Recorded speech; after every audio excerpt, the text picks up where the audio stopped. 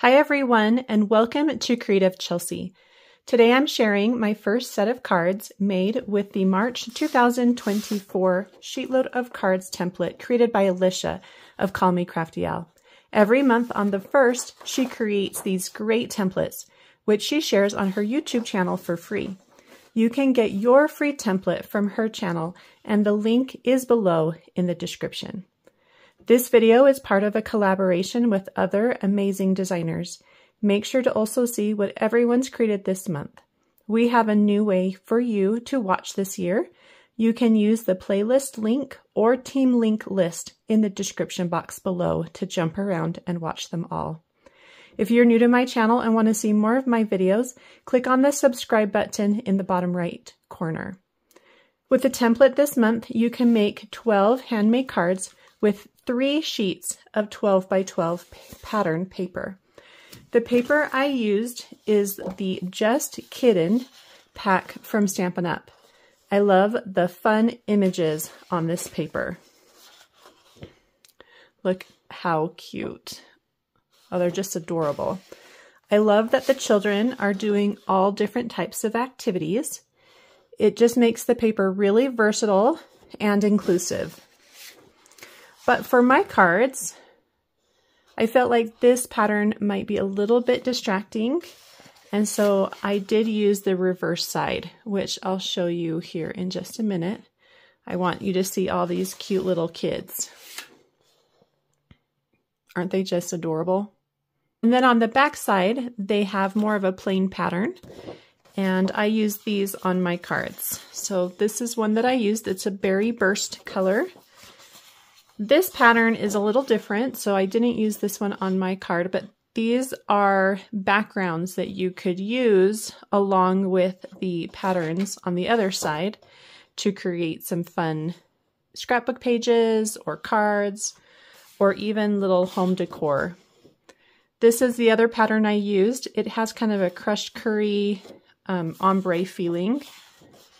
This one's really pretty. It's got stars and then this one I used, this has got more of a pretty peacock pool party look to it. So I used the three patterns, which you can see on my card.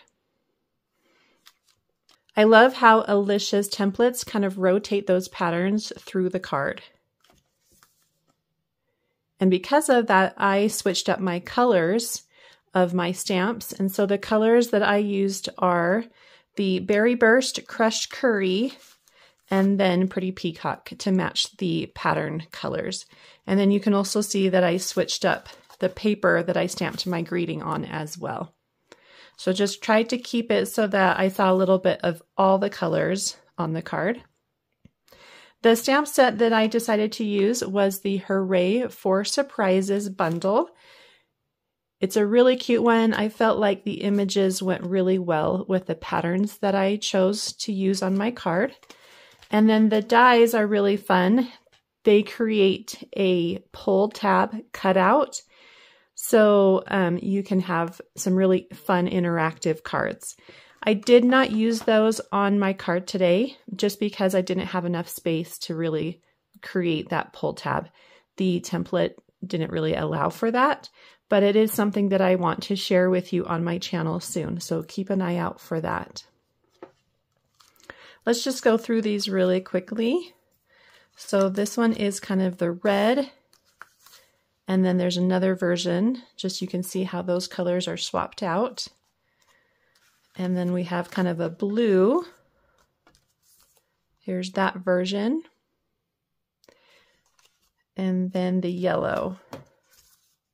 There's that version. And then, if I remember correctly, there's two of everything. So there's four cards of each kind of larger piece. So you can see we've got the yellow with blue and red, and then we have the yellow with red and blue.